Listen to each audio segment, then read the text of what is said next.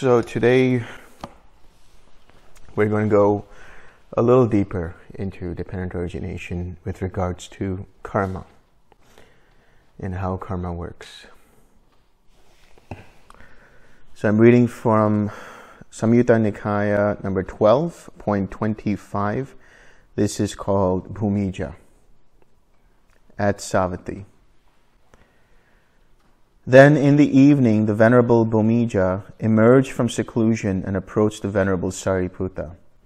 He exchanged greetings with the Venerable Sariputta, and when they had concluded their greetings and cordial talk, he sat down to one side and said to him, Friend Sariputta, some ascetics and Brahmins, proponents of karma, maintain that pleasure and pain are created by oneself. Some ascetics and Brahmins, proponents of karma, maintain that pleasure and pain are created by another. Some ascetics, Brahmins, some ascetics and Brahmins, proponents of karma, maintain that pleasure and pain are created both by oneself and by another. Some ascetics and Brahmins, proponents of karma, maintain that pleasure and pain have arisen fortuitously being created neither by oneself nor by another. So these are the different ways that people during the Buddha's time understood karma. Karma, first of all, what is karma? Right? The, karma is understood at the very basic level action and reaction. Action and consequence. So when we talk about karma, we're not talking about something that is, you know, beyond our control necessarily. Karma starts with intention. So the Buddha has said that intention is karma. So if you want to pay attention to your formations, as I've said before, pay attention to the quality of your formations as they arise, pay attention to your intention. Pay attention to where your choices incline. If your choices are rooted in the unwholesome, then the formations that arise are rooted in the unwholesome. If your choices are rooted in the wholesome, then the formations that have arisen are rooted in the wholesome. Now, here the question is in regards to those who are proponents of karma. That is to say, those ascetics and Brahmins, those different kinds of sects that did understand karma or believed in some kind of karma, but they had a limited, let's say, capacity of karma in terms of how they understood it. That is to say, it is karma which is also pain and pleasure so karma is not just your actions. Karma is also though that which you reap from your previous actions. And actions are not just uh, physical, but verbal and mental. So the pain and pleasure that you feel, that is to say, the pleasant feeling, the unpleasant feeling, even the neutral feeling, that's all the ripening of karma, all the ripening of choices you've made at a previous moment. So, because of the certain choices that you've made, they cascade down in a different moment and manifest as some kind of an experience to be felt in that particular present moment. So, this is why it's understood that they maintain that pleasure and pain are either created by oneself or created by another, or created both by oneself or by another, or that they arise fortuitously, which means they arise beyond one's control, beyond one's own choices. Pleasant feeling, unpleasant feeling, or neutral feeling. Now, friend Sariputta, what does the Blessed One say about this? What does he teach? How should we answer if we are to state what has been said by the Blessed One and not misrepresent him with what is contrary to fact? And how should we explain in accordance with the Dhamma so that no reasonable so that no reasonable consequence of our assertion would give ground for criticism. So he's asking, how does the Buddha teach karma? How does he teach how pain and pleasure arise? How do we answer when somebody asks us, how does karma arise? So that we answer in such a way that there is no grounds for criticism. Friend, the Blessed One has said that pleasure and pain are dependently arisen. Dependent on what? Dependent on contact. If one were to speak thus, one would be stating what has been said by the Blessed One, and would not misrepresent him with what is contrary to fact. One would explain in accordance with the Dhamma, and no reasonable consequence of one's assertion would give ground for criticism. Contact. Contact is that link in which the eye and form make contact, giving rise to eye consciousness. These three constitute eye contact. The ear and sounds make contact and give rise to ear consciousness. These three constitute ear contact. The nose and smells, the nose and odors and fragrances join together, and the joining of these brings about nose consciousness. And the, these three constitute nose consciousness. The tongue and flavors come together, and from that arises tongue consciousness. The joining of these three is tongue contact the body and tangibles, that is to say, temperature, heat, cold, the wind, uh, fabrics, whatever it might be. That makes contact with the body. They make contact together, and from there, there arises body consciousness. And these three constitute body contact. There is the mind and mind objects, thoughts, ideas, concepts, meditation objects. This makes contact with the mind, and dependent upon that, there is mind consciousness. These three constitute mind contact. So this is contact. This is phassa. This is the initial contact, which then, dependent upon which, gives rise to feeling. And that feeling can be pleasant, unpleasant or neutral. And what is feeling? Feeling is an experience. Any experience you're having right now. You're sitting in your chair, that's a feeling. You're listening to my voice, that's a feeling. You are seeing me, that's a feeling. You're contemplating, thinking about what is being spoken, that is a feeling. These are all experiences, pleasant unpleasant, or neutral.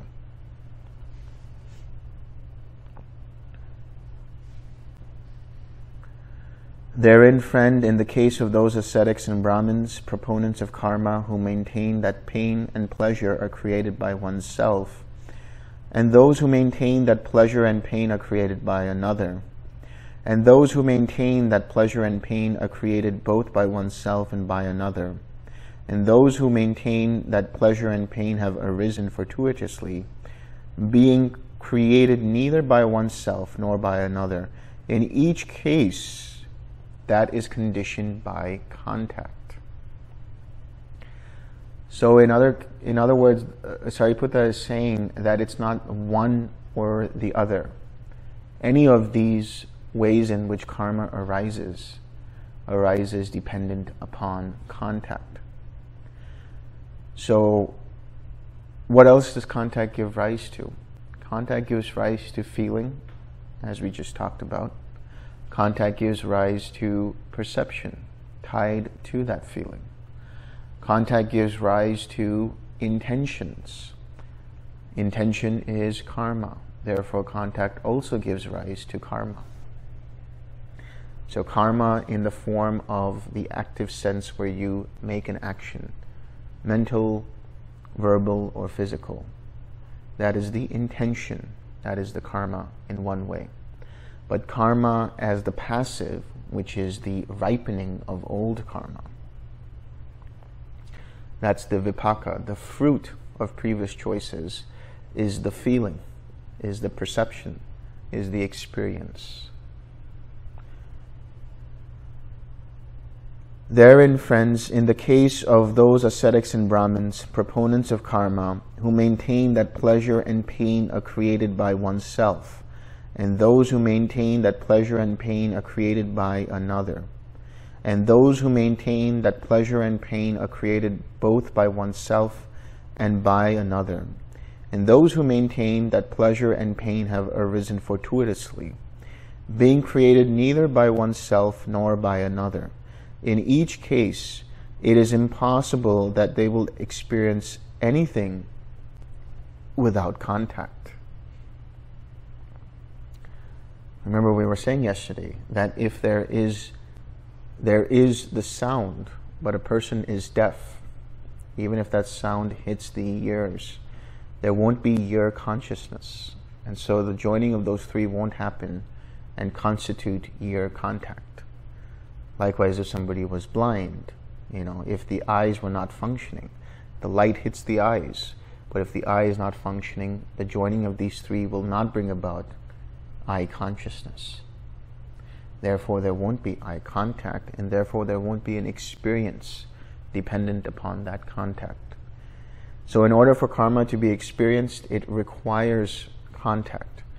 In order for you to make an intention, there has to be some kind of contact whether it's pain or pleasure created by oneself, pain or pleasure created by another, pain or pleasure created by oneself or another, or pain or pleasure created outside of one's control or anyone else's control, whatever the circumstances are. That arises dependent, or that is, that is experienced dependent upon contact. So contact is the key here.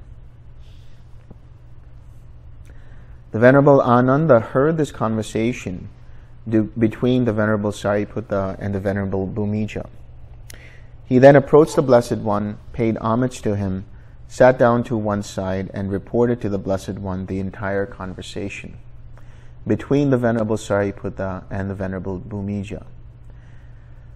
The Blessed One said, Good, good, Ananda. Anyone answering rightly would answer just as Sariputta has done. I have said, Ananda, that pleasure and pain are dependently arisen. Dependent on what? Dependent on contact. If one were to speak thus, one would be stating what has been said by me and would not misrepresent me with what is contrary to fact one would explain in accordance with the Dhamma, and no reasonable consequence of one's assertion would give, give ground for criticism.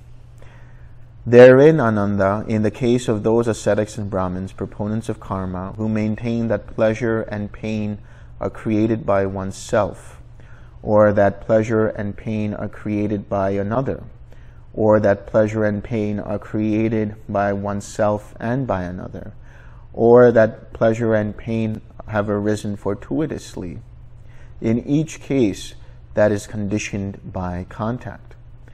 Therein, Ananda, in the case of those ascetics and Brahmins, proponents of karma, who maintain that pleasure and pain are created by oneself, and those who maintain that pleasure and pain are created by another, and those who maintain that pleasure and pain are created by, both by oneself and by another, and those who maintain that pleasure and pain have arisen fortuitous, fortuitously, being created neither by oneself nor by another. In each case, it is impossible that they will experience anything without contact. So he's repeating exactly what Sariputta said here. Let's break down a little bit of what this is. It says, those who maintain that pleasure and pain are created by oneself. Here there is some kind of pain that arises or pleasure that arises, dependent upon contact, but there was an intention to experience that one way or the other. In the case of one that experiences pleasure and pain created by another, somebody comes to you and pokes you in the stomach. You didn't intend that, but some the, the finger made contact with the body. That was contact. That gave rise to a annoying feeling, a painful feeling. Somebody came up and provided you with uh, a glass of water because you were thirsty. You didn't intend for the glass of water, but somebody came in, came up and gave it to you. And so your tongue made contact with the cool water and you experience a pleasurable feeling, the quenching of that thirst. And in the case of someone where there is karma created or karma experienced in the, pain, in the process of pain and pleasure caused by oneself and another, you decide to take a trip with a person. Both of you have made plans to go somewhere. And so you make the trip and you start driving around. So both of you have caused this experience to happen in one way or the other, or whatever it might be. And in the case where karma fortuitously arises, you had no control over when this heat arose. You had no control over when the rain arises. You have no control over whether there is snow you have no control over whether an earthquake strikes or a tornado or whatever it might be. These all arise and they make contact with the body, make contact with the six sense bases in one way or the other. Having arisen, that contact gives rise to karma in the form of a pleasant, unpleasant, or a neutral experience. So this is things that are beyond anyone's control, so to speak, beyond anyone's intentions. They arise and they give rise to contact and then they give rise to the feeling of the experience. Ananda, when there is the body, because of bodily volition, pleasure and pain arise internally. When there is speech, because of verbal volition, pleasure and pain arise internally. When there is the mind, because of mental volition, pleasure and pain arise internally, and with ignorance as condition. So let's break that down. There is bodily volition, an intention rooted in the activity of the body there is verbal volition, an inclination or intention of the mind to say something dependent upon speech. There is mental volition because of the mind. And so, because of an intention to think something, there arises a thought.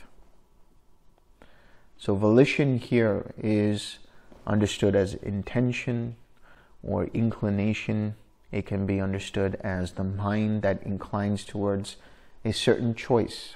This is known as cetana. It is one of the factors of nama rupa, specifically nama mentality. We talk about the factors of mentality as contact, feeling, perception, intention, and attention. Intention is also understood as inclination. In what way does the mind incline and towards what does the mind incline? It is the rudder in which the mind makes choice, with which the mind makes choices. So that's why I'm saying when you want to pay attention to the quality of your formations, pay attention to the choices that you're about to make.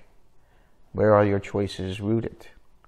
And if you're able to pay attention and see and recognize that there is an unwholesome choice about to be made, you can recognize it, 6R, let it go, recondition the mind to make something that is, make a choice that is wholesome in nature.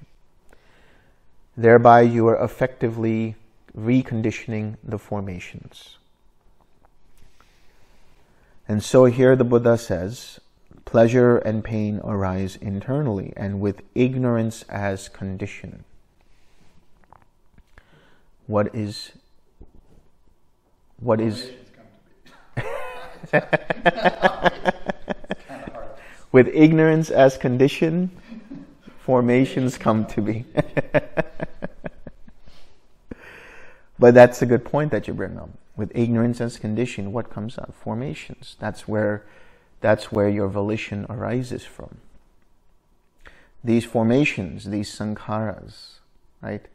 There are mental formations, verbal formations, and bodily formations. The mental formations are related to the mind insofar as what it perceives, feels, and perceives. Even if you make contact with the table with your finger, ultimately the mind is experiencing that. Yes, the body makes contact, but ultimately it is experienced in the mind. When you're seeing things, the mind perceives, feels and perceives that through the eyes and creates an image.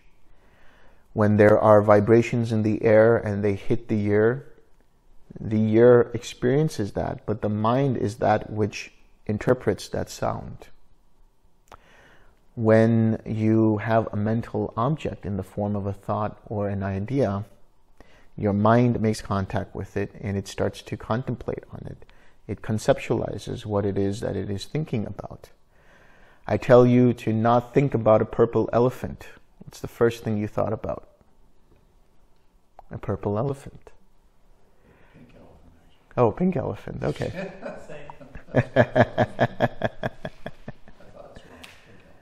so then you took that mental object and you changed it into a pink elephant right? So these intentions to think, to act, to speak, they give rise to pain and pleasure with ignorance as condition because what is ignorance? Ignorance is ignoring the Four Noble Truths, not knowing what is suffering, not understanding what is the cause of suffering, not knowing the cessation of suffering, and not knowing the path leading to the cessation of suffering, which means you have lack of mindfulness. When there is lack of mindfulness in an experience, you take it personally. As soon as you take it personally, it feeds back to formations that root themselves in greed, hatred, and delusion, that have craving, have ignorance, have conceit, have wrong view, fettered in those formations, infected by those formations, affected by those formations, or those formations are affected by them. So whenever you uh, act upon your craving, what you are doing effectively is starting to strengthen the formations rooted in that craving. Every time you take something personally, you are strengthening the formations fettered in ignorance and conceit. So if you recognize that the mind is starting to do this and let go of the craving, let go of taking things personally, and that's dependent upon the recognized step, which is mindfulness, remembering to observe how mind's attention moves from one thing to the other, using yoniso manasikara, wise attention, and what is that wise attention rooted in? Rooted in reality. Reality of what? Reality that this experience is conditioned, dependently arisen. Therefore, it is liable to be impermanent, and therefore it is liable to cause suffering if held onto, and therefore not to be taken as me, mine, or myself. So when ignorance arises, dependent on the lack of mindfulness, which feeds back to that ignorance, that continues to strengthen the formations that arise, which means that any speech that you have, any intention to speak, any intention to act, any intention to think or feel and perceive is also rooted in that craving, is also rooted in that ignorance, is also rooted in that conceit.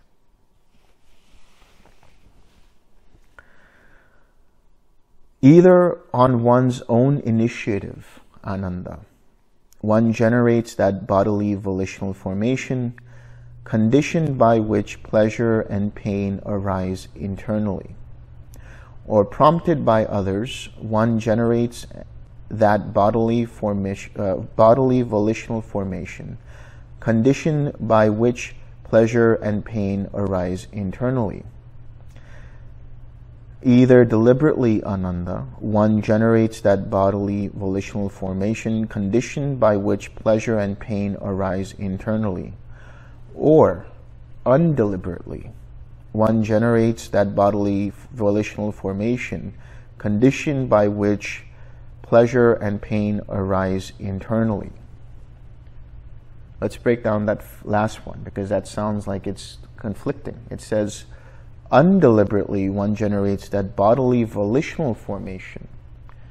Undeliberately, they generate a volition. How can that be? So this is where something arises which you did not intend to arise. It arose because there was the climate was hot, or your, your flight was cancelled, or there was a big earthquake, or whatever it might be that is out of your own control that arises.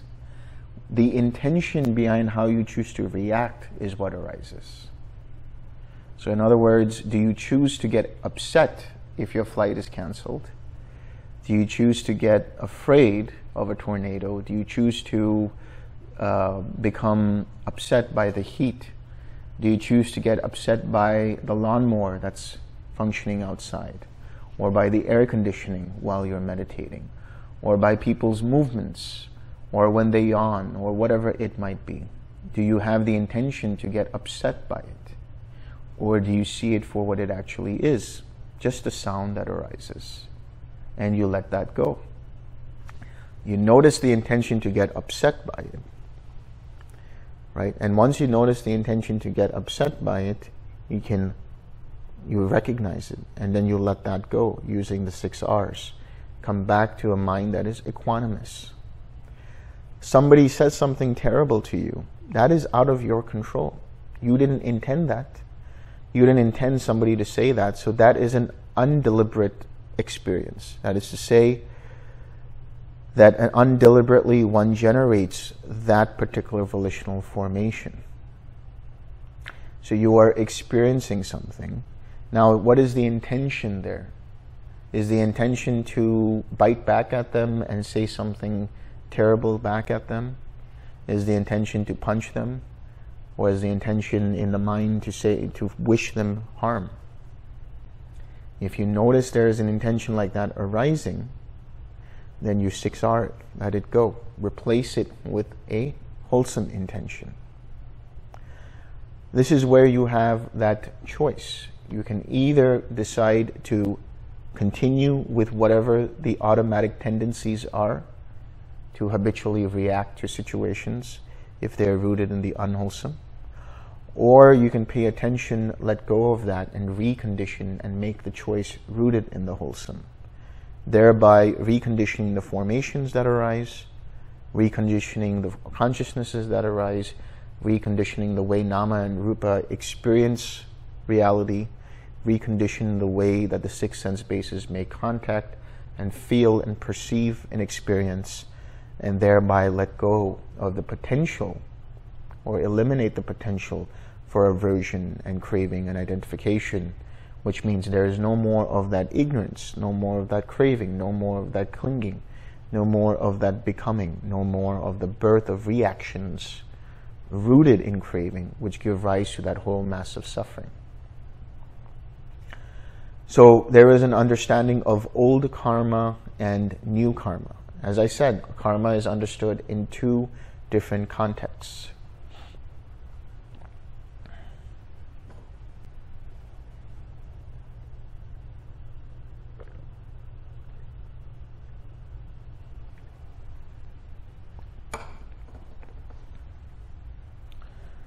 What are the two different contexts? One context is that it is intention. It arises because of a choice. That is the active karma that you make. Right? That is the activity, the action that you do in the form of intentionally thinking something, intentionally saying something, intentionally acting from your body. And then there is the karma that arises based on those experiences or arises based on, there is the karma that arises based on those decisions, those intentions. So where is the old karma and where is the new karma? In the context of dependent origination, the way to understand it is everything from ignorance all the way up to feeling is old karma. It's stuff you can't change. It's stuff that you are inheriting. It's stuff that arises dependent on previous choices that you made. You decided to have craving towards something, so the next arising will be rooted in ignorance and craving. So then that means the formations that arise are fettered by that craving, hindered by ignorance, which means that consciousness will be tainted by greed, hatred, or delusion, or the various upakilesas, the various defilements dependent upon greed, hatred, or delusion. Then that consciousness gives rise to how the nama rupa experiences everything through the six sense bases. And so that contact already conditioned by the craving, already conditioned by the ignorance, when the feeling arises, there's an underlying tendency to ignore, an underlying tendency to crave, an underlying tendency to of, have aversion towards, an underlying tendency to make a view about something, an underlying tendency to have doubt about something, an underlying tendency to identify with something, an underlying tendency to want to become something dependent upon that feeling. So these underlying tendencies, when they arise, if the mind continues to act from that, that is the new karma. So the old karma is everything that you've inherited, including the experience you're having right now. You made the choice to come sit here and listen to me talk. Right? That was the new karma, that was the action that you produced. And now here you are, listening to my voice. This is the old karma. Everything that's arising now is old karma dependent upon the choice you made to come and sit here. Now, the production of new karma is also the production of further suffering, further dukkha. That dukkha, that suffering, can arise in different ways. There are three different types of suffering. There is what is the dukkha dukkha, the suffering of suffering. That's the suffering of painful feeling, the suffering of old age, the suffering of sickness, the suffering of death. Then there is the viparinama suffering, the suffering of change. Things change out of your control. You miss that flight or the flight gets cancelled. You're looking forward to going to see a baseball game and suddenly it starts to rain. That's out of your control on a cold winter's morning, you decide to have a really warm shower, and then suddenly the hot water stops and there's cold water. That's the suffering of change. That's out of your control. Then there is the suffering that is known as sankhara dukkha. That is the inherent suffering in things, and the suffering of things that you uh, you identify with in regards to the five aggregates. Wherever you have identification with the body, with feeling, with perception, with intentions or formations, or with consciousness, there arises this internal suffering. Because you either want to get something and you don't get it, or you get something that you don't want. Every time you identify with that, identify with the five aggregates that are then affected by craving and clinging, then you will experience that dukkha. So that dukkha then is experienced as old karma. So the new karma is the production of that old karma to be experienced in a later moment. So how does that new karma arise? You identify with the experience. You identify with the feeling. When you identify with it, there can be an underlying tendency which you act upon, and that gives rise to full-blown craving or aversion. If you continue to act with that craving and aversion, craving or aversion, then now you're producing new karma. Now you are actively producing suffering for yourself. First, you inherited the suffering in the form of old karma. in the form of previous choices you made. But if you decided to have resistance towards it, if you had the decision to have craving for it, now you're producing new karma to add to that repository of old suffering. So if you continue to crave and you continue to cling, which is you continue to rationalize why it is that you crave, you continue to associate all of your ideas of what you like and what you don't like dependent upon that craving, which then gives rise to this concretized idea of the self in becoming, in habitual tendencies. That causes the mind to act or react, which is the birth of action. And then that birth of action gives rise to further suffering. So the craving, the clinging, and the becoming, and the birth of action. This is all new karma. This is where you have some level of choice. Can do you choose to crave? Do you choose to cling? Do you choose to I you know hold on to this identity and then do you choose to act from those habitual reactions rooted in holding in onto that identity? Or do you choose to see it as it actually is, which is the right intention, dependent upon right view? What is the right view? Knowing what is suffering, knowing what is the origin of suffering, knowing what is the cessation of suffering, and knowing the way leading to the cessation of suffering. In other words, when you have that right view, it will start to establish itself in the mind and then condition the next set of formations that can be rooted in wisdom, rooted in compassion, rooted in letting go. And that right intention is threefold, or made up of three parts. Nekkhamma, which is letting go, renunciating, or renunciation, renouncing. Letting go of what? Letting go of this is me, this is mine, this is myself. The second part to that is non ill will. That non ill will is arising through the practice of loving kindness. And then the third part of that is non cruelty or non harmless or harmlessness, which arises dependent upon the cultivation of compassion. So when you let go of things, when you start to let go of identifying with things, when you have loving kindness, when you have compassion, that gives rise to what's known as right speech and right action. That right speech and right action are non-productive of new karma, meaning they don't produce suffering for yourself and for others and that right livelihood, which does not produce suffering. So what is that karma, or how is that, how is that karma, that is to say, that action, that speech, that intention, the mental karma, the bodily karma, the verbal karma, how does that arise in such a way that it is non-productive of further suffering, non-productive of new karma that is generated that adds to the repository of the suffering to be experienced at a later time. It's what you've been doing all, all this time with the retreat. The six R's.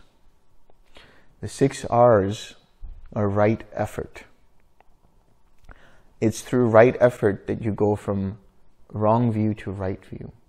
You go from wrong intention to right intention, from wrong speech to right speech, from wrong action to right action from wrong livelihood to right livelihood, from wrong mindfulness to right mindfulness, from wrong collectedness to right collectedness. It is right effort that is the heart of the Eightfold Path, the core of the Eightfold Path. And that right effort is fourfold. There is the right effort to prevent the arising of un, unarisen unwholesome states from arising, right? There is the right effort of abandoning the already arisen unwholesome states. There is a right effort to generate wholesome states of mind. And there is the right effort to maintain those wholesome states of mind. So when you are 6Ring, when you are doing the 6 Rs, you are fulfilling these four right efforts. When you fulfill these four right efforts, you do not produce any new karma that can give rise to further suffering for yourself or for others. So when you recognize that there is a distraction, when you recognize that there is a unwholesome state of mind present, you prevent the flow of that un- unwholesome state from continuing. When you release and you relax, you abandon the already arisen unwholesome state of mind. And then when you smile, come back to the smile, you generate a wholesome state of mind when you return to an object of meditation like loving kindness or quiet mind or whatever it might be, you are maintaining that wholesome state of mind. And whenever you repeat, you're continuing that process. So that is why the most effective way of dealing with situations where unwholesome states of mind is to 6R. In the case of your meditation, when hindrances arise, what is going on there. You made a choice in the past at some point to break a precept. Then that gives rise or culminates in the arising of a hindrance in the mind. When you break a precept, the mind starts to get agitated.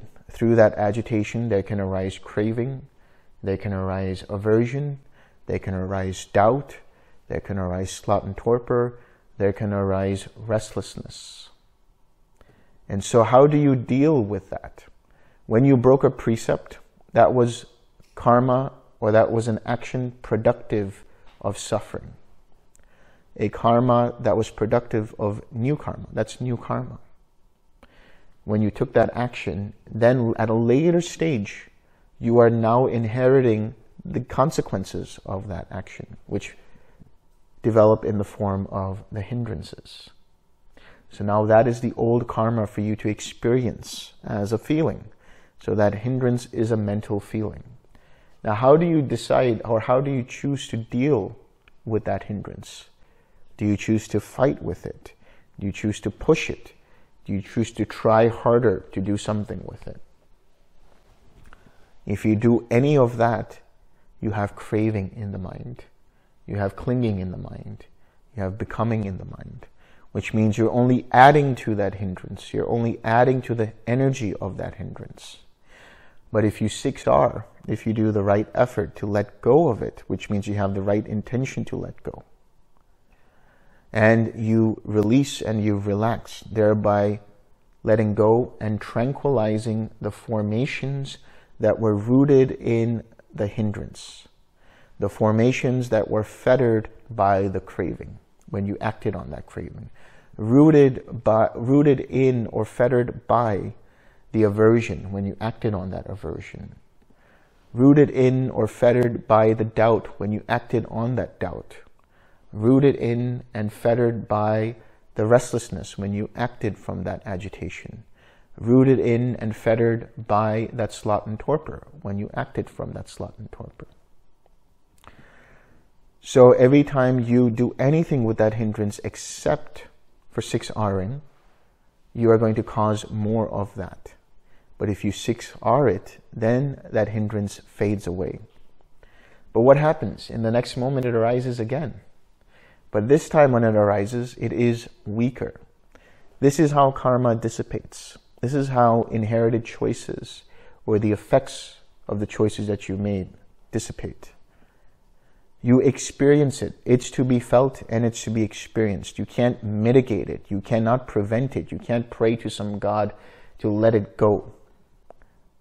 You have to experience it. And once you experience it, you either decide to hold on to it and crave for it or have aversion towards it, thereby causing more of that karma, or you choose to let go of it with right effort, thereby letting it dissipate as an experience.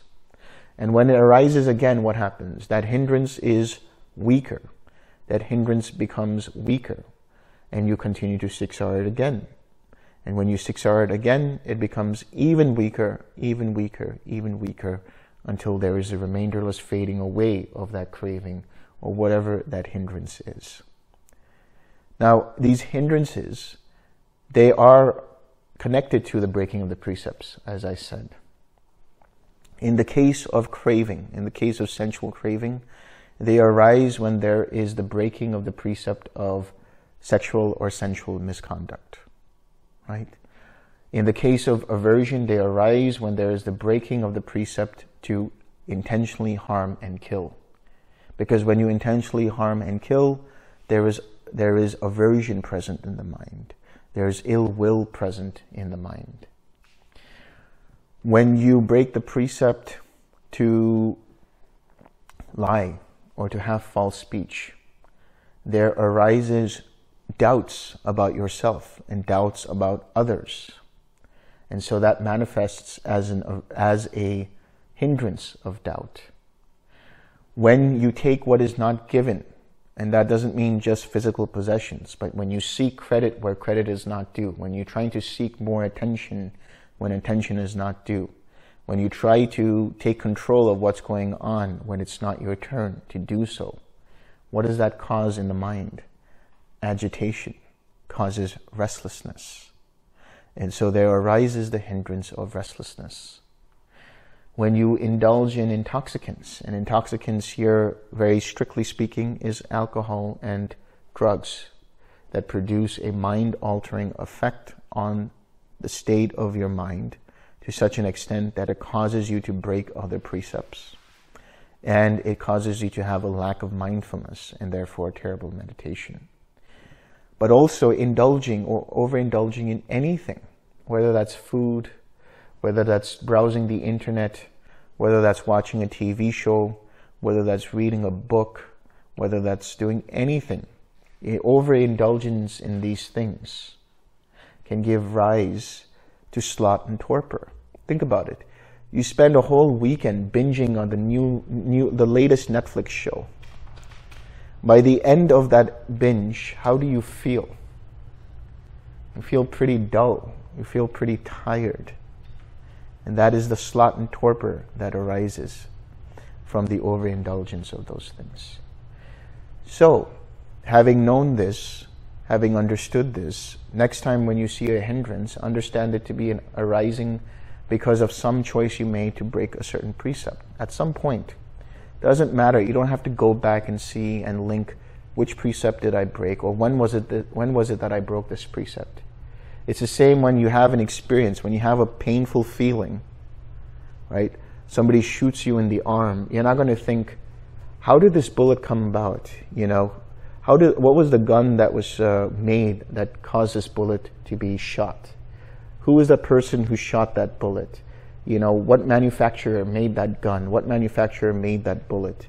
You're not going to think about all those things. All you're going to be thinking about is, I am in terrible pain right now. Let me deal with this pain. And how do you deal with that pain?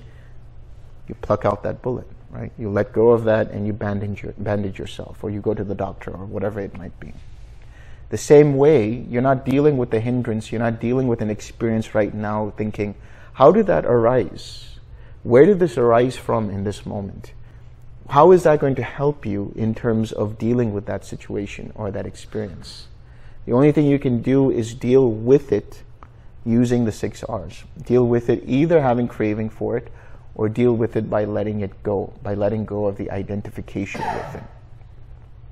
Once you let go of identifying with it, you no longer have any craving towards it. You no longer have any clinging towards it. You no longer have any becoming towards it. And therefore, you no longer have any reactivity against it.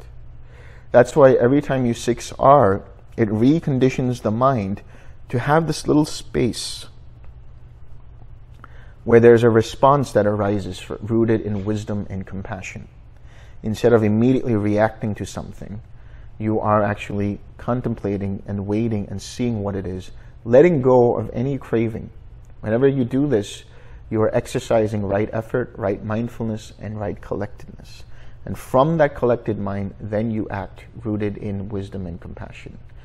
And when you do that, you are following the Eightfold Path. And anyone who follows the Eightfold Path will not produce new karma. It is said in the suttas by the Buddha that the cessation of karma is through the process of the Eightfold Path. Because when you have right speech, when you have right action, it has no intention to crave or harm. There's no intention there to do any of that. Instead, It experiences things as they are and it dissipates them through right effort. So when a hindrance arise, arises, all you have to do is six art, nothing more. Just six art, come back to the quiet mind, come back to the compassionate mind, come back to the loving kindness, whatever it might be. Either on one's own initiative, Ananda, one generates that verbal volitional formation conditioned by which pleasure and pain arise internally. Or prompted by others, one generates that verbal volitional formation conditioned by which pleasure and pain arise internally.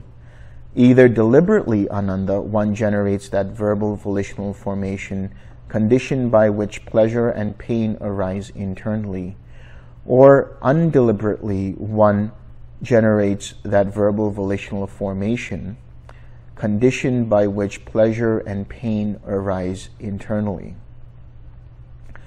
So, somebody says something to you that was unprompted.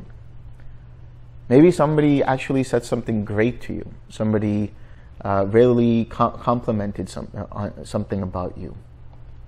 And what happened? That was a pleasant experience. That was unprompted. But now, you choose to identify with what they said. Oh, that was a great compliment. Yeah, I really am that kind of a person. And now you start to obsess over that. Now you start to identify with it. Now you crave for that everywhere you go. Now you're like, I'm going to see this person again. I'm sure they're going to say something good about me this time. Right? Or you tell people, oh, you know, this person said something about me. And then you have more craving and you have more clinging for that. And what happens? That person might change their opinion and they might say something else about you that, or something to you that is a criticism. Now, from indulging in that compliment, you go to having aversion towards that criticism. And you say, how dare they say that about me? How dare they say anything like that? They don't know what they're talking about. Now you have aversion towards that. Now you have clinging. Now you have becoming.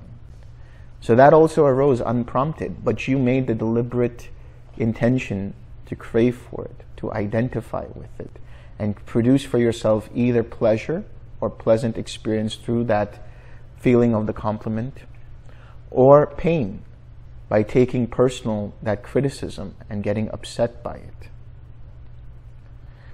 So equanimity here is not getting controlled either by criticism or by compliments, by praise or by blame. You're seeing things as they are. With that equanimity and mindfulness, you don't react. Instead, you respond. Sure, you appreciate that uh, criticism or you appreciate that compliment in the sense that maybe he's right about what he just said. Let me consider what he said. Maybe he's right about that compliment, and I'm grateful that he said that compliment, and you move on.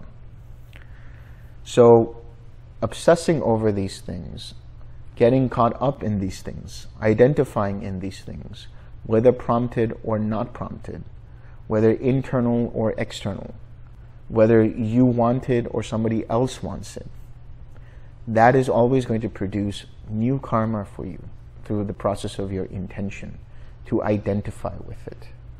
But if you see things as they are, whether it's the compliment, the criticism, whether it's the weather, whether it's uh, food, whatever it is, you see it all arising dependent upon causes and conditions, and you decide not to take it personally. The moment you start to take it impersonally, the moment you realize this is all impersonal, and the moment you don't cling to any experience whatsoever, pleasant, unpleasant, or neutral, you experience freedom of, freedom of mind right there and then. That is why the Buddha says, through not clinging, his mind was liberated. Don't take any experience personally, whether it's loving kindness, whether it's a jhana, whether it's an experience of cessation, whatever it might be. All of that is impersonal. Uh, even though you feel like it affects me, as soon as you feel like it affects me and I need to change it somehow, or it doesn't work with my expectations of how this should go or of how that should go, if you can notice that in 6R and let it go, you'll have peace of mind right there and then. And that peace of mind right there and then is mundane nibbana, mundane cessation of suffering.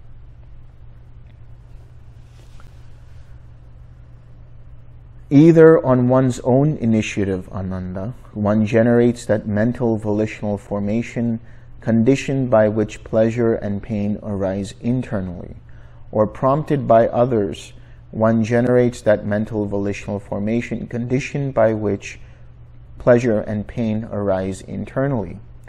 Either deliberately, Ananda, one generates that mental volitional formation conditioned by which pleasure and pain arise internally or undeliberately, one generates that mental volitional formation, condition by which pleasure and pain arise internally. So here the Buddha is repeating the same thing, but in the context of body, speech, and mind. When it's unprompted, when it feels very hot, and you have a mental reaction to that and saying, I hate this heat, now the intention is to have aversion towards that experience and then you decide that you want to say something about that and get upset by it and curse that heat or curse whatever it is going on. Now that is the intention to verbalize that. And so that is the speech. And you decide you want to go into an air conditioned room. That is the bodily action dependent upon that intention. Ignorance is comprised within these states so ignorance, again, what is the ignorance? The not knowing of the Four Noble Truths. You'd have not understood suffering in that moment. You have not let go of craving in that moment. You have not experienced the cessation of that suffering in that moment. And you have not cultivated the Eightfold Path in that moment. But if you 6R, in that moment, instead of craving and reacting and averting, then you recognize here is suffering in the form of an unpleasant feeling, or a pleasant feeling that is impermanent, or a hindrance, or here is suffering in the form of an identification with an experience. And then you let go, or you abandon the second noble truth of craving for that experience or having aversion towards that experience.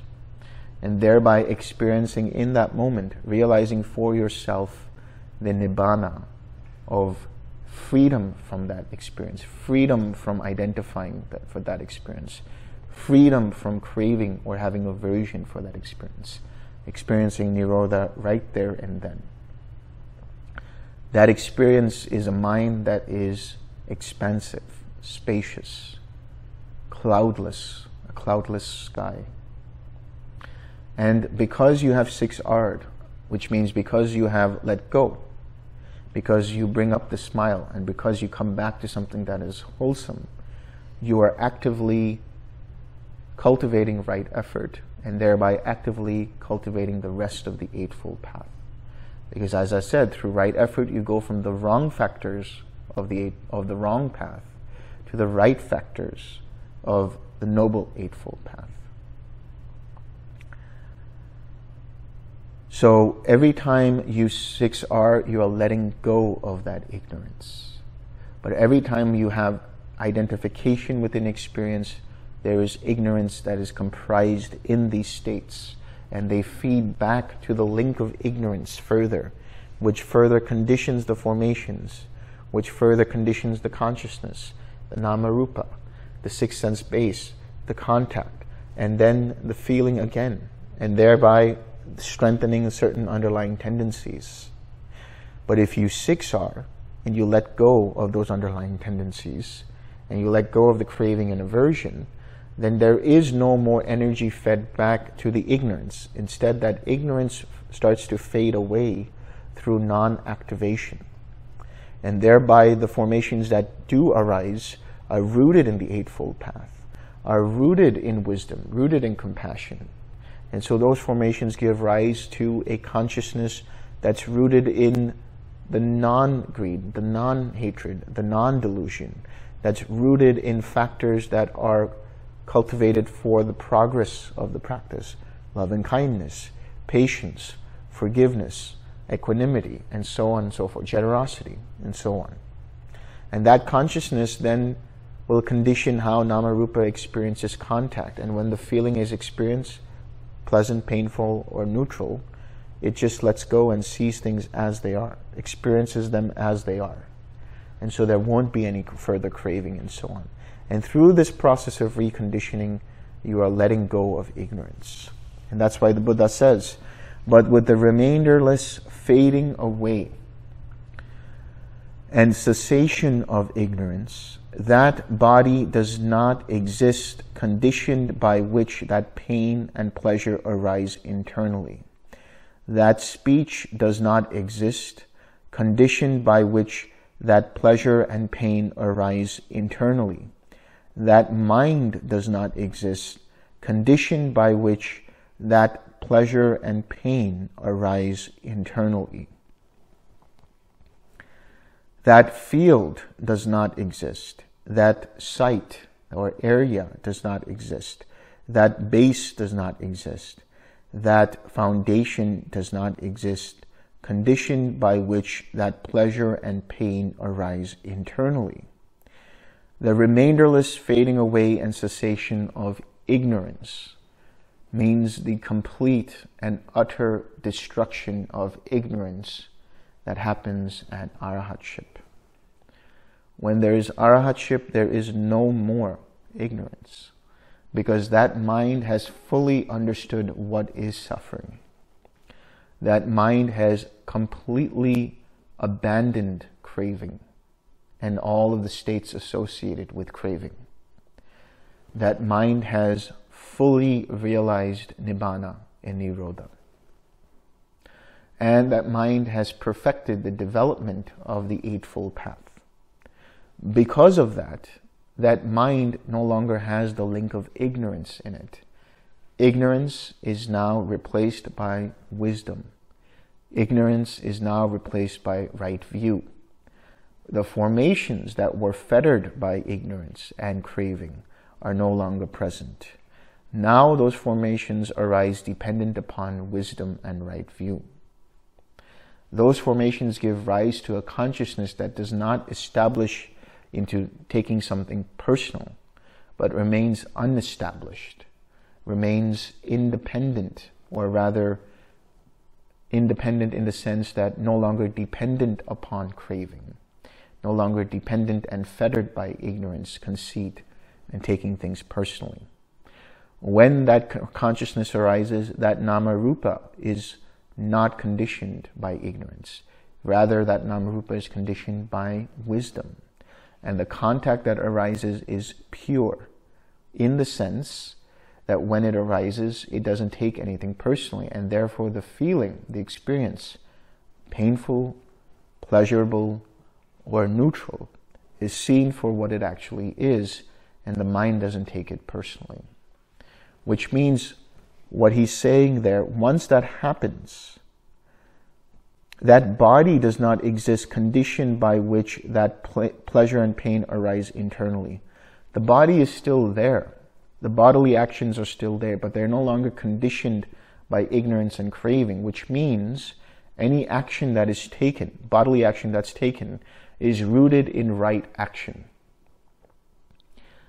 That Speech does not exist, conditioned by which that pleasure and pain arise internally, meaning that speech now is rooted in right speech. That mind does not exist, condition by which that pleasure and pain arise internally, which means that that intention is now rooted in right intention. And so there will still be pain and pleasure experienced as an arising of old karma that was created prior to full awakening, prior to full arahatship. And so that will be continue to be experienced, but because of right intention, right speech, and right action, there won't be any new production of that far, uh, that karma any further. It will just be experienced right there and then, and it will no longer exist. So that pain and pleasure will be experienced and then it will no longer exist. And so that field does not exist. That site does not exist. That base does not exist. That foundation does not exist, conditioned by which that pain and pleasure arise internally. What is that field? What is that site? What is that base? What is that foundation? It is that mind, it is that consciousness, it is those six sense bases that are no longer conditioned by craving, no longer conditioned or rooted by ignorance, rooted in ignorance. So that is the mind of the Arhat. The mind of the Arhat is unestablished. There does not exist in there any field, any base, any site, any foundation upon which any new karma can be produced. Because that mind of the Arhat functions automatically in a default mode of functioning from the Eightfold Path, which means it no longer produces any more karma. Because it no longer has any notions of me, mine, or myself. It doesn't take anything personally. And it doesn't therefore have any kind of clinging, any kind of craving, any kind of aversive attitudes towards anything. It doesn't even have any attachment to jhana, doesn't have any attachment to nibbana, doesn't have any attachment to any form of existence because it sees all of that as not self. It sees all of that, experiences all of that as an impersonal process or impersonal causes and conditions. Because it doesn't take anything personally, it cannot produce any new karma. So that field, that mind rooted in craving, that foundation that is rooted in ignorance does not exist. Pain and pleasure will be felt. Neutral experiences will be felt, but they will fade away right there and then without any further production of karma. And so this is the understanding of dependent origination, specifically with intention and how karma is produced and how karma ceases. There endeth the lesson.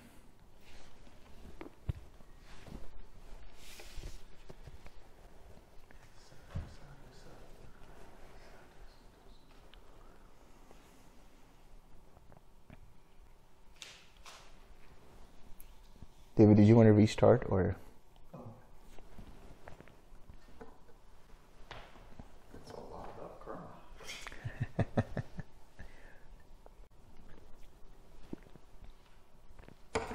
Any questions? That's the answer. So, in other words, in other words, you want to uh, practice makes perfect. That's really it. You have to be able to continue to recognize anytime an unwholesome states arise. And when unwholesome states arise, you have to be able to let them go, replace them with a wholesome state of mind. So being able to stay in loving kindness 24/7 if you can or any of those states is one thing, but then being able to recognize when you get distracted from them, from the unwholesome from the wholesome states by the unwholesome states and letting those go, that's a conscious effort.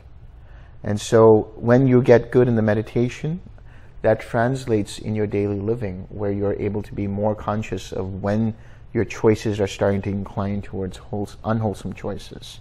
And then you can six R those and bring them back to something that is wholesome. Actually, I only started reading the suttas uh, probably the beginning or middle of 2020.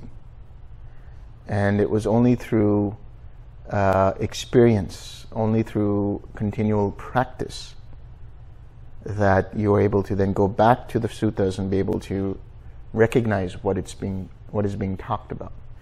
Any newcomer who comes to the suttas are, is completely lost because it's like, what are they talking about right here? What is neither perception nor non-perception? What does that mean, right? The signless collectedness of mind. What does that mean? Emptiness liberation what does that mean and you know dependent origination contact feeling perception what are they talking about here and you can only really understand that through experience that is to say continuing to cultivate the practice continuing to unlock deeper insights through that practice and then that practice becomes a decoder for the suttas. So when you go back, you're like, oh, this is what they mean when they mean the first jhana. This is what they mean when they say neither perception nor non-perception. This is what they mean by karma, and so on. So you start to get deeper and deeper insights with it's, further. It's both. The reason I say that is because when you have an experience, when you have an attainment experience, you can see the links of dependent origination. And sometimes they're not as clear in the beginning, but as your as your wisdom starts to deepen in terms of your understanding, when you start to become more observant, which is you become more mindful, you become more aware, you become more cognizant, and recognize when something arises in the form of contact or feeling or perception or craving or clinging, then that's the gradual aspect of that. And as you continue to do that, when you have another experience where you're able to see the links of dependent origination post cessation, you have even a deeper understanding of that. And sometimes you've been contemplating what formations are for many years or for many months, but until you have an experience, you then suddenly, when you look back at it, it all makes sense. And it's like, oh, this is what they mean by formations.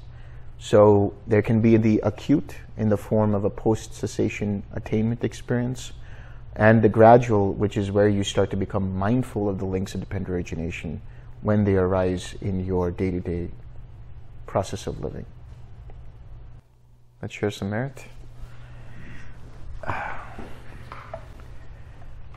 May suffering ones be suffering free, may the fear struck fearless be. May the grieving shed all grief, and may all beings find relief. May all beings share this merit that we have thus acquired for the acquisition of all kinds of happiness. May beings inhabiting space and earth, devas and nagas of mighty power, share this merit of ours. May they long protect the Buddha's dispensation.